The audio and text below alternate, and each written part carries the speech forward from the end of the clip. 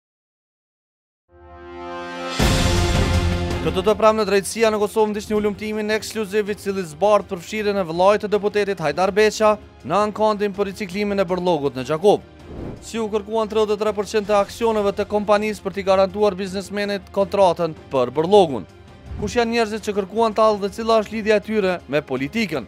Ndiqni bisedën në mes Hajdar Podrimjes në njërën anë dhe Hasan Beqajt, vëllait të deputetit të PDK-së Hajdar Beqa në anën tjetër. Çfarë thotë Hajdar Beqa për këtë problem? Në fund, ndiqni rubrikën Policia, drejtësia në Kosovë çdo të premte nga ora 22:20 dhe repriza të hënën në mesditë.